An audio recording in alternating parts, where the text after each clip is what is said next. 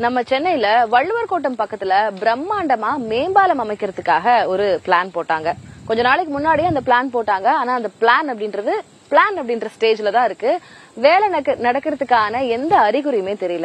எதனால இந்த தாமதம் அப்படின்றத விரிவா நம்மளுடைய செய்தியாளர் சுரேஷ் பதிவு பண்ணிருக்கிறாரு கேட்கலாம்.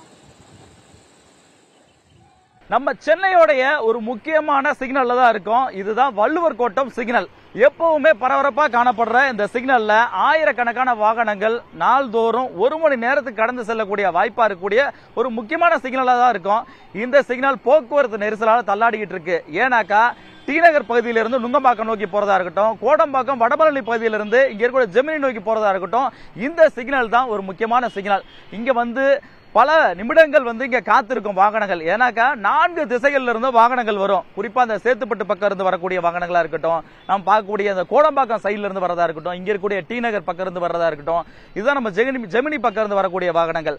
எல்லா வாகனங்களுமே நான்கு திசையில இருந்து வர்றதுனால ஐந்து நிமிஷம் பத்து நிமிஷம் கூட காத்திருக்க வேண்டிய சூழல் இருக்கும். இப்படிப்பட்ட இடத்துல சுமார் நூத்தி தொண்ணூத்தஞ்சு கோடி ரூபாய் மதிப்புல ஒரு மேம்பாலம் அமைக்கிறதுக்கு ரெண்டாயிரத்தி இருபத்தி ரெண்டாம் ஆண்டே திட்டமிட்டாங்க.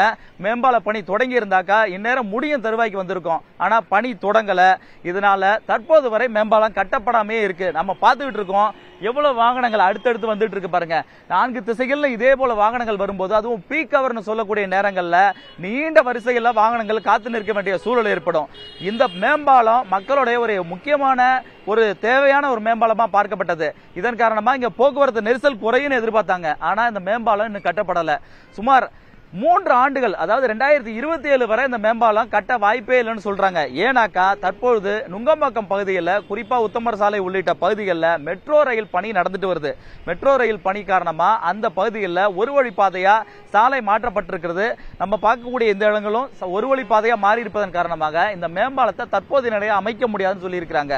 இதே சூழல் நீடித்தாக சுமார் பதினைந்து மீட்டர் அகலமும் நான்கு வாகனங்கள் செல்லக்கூடிய வகையில் ஒரு பிரம்மாண்டமான மேம்பாலம் அமைச்சு இந்த இடத்துல போக்குவரத்து நெரிசலுக்கு குறிப்பாக வாகனங்கள் சில மணி நிமிடங்கள் காத்திருக்கக்கூடிய சூழலை தவிர்ப்பதற்கான வாய்ப்பு இதுவரை இல்லை எனவே தெரிவிக்கிறார்கள். இது குறித்து மாநகராட்சியில் விசாரித்த பொழுது மெட்ரோ ரயில் பணிகள் முடிஞ்சால்தான் இங்கே மேம்பாலம் அமைக்கும் பணி தொடங்கப்படும் என தெரிவிக்கிறார்கள்.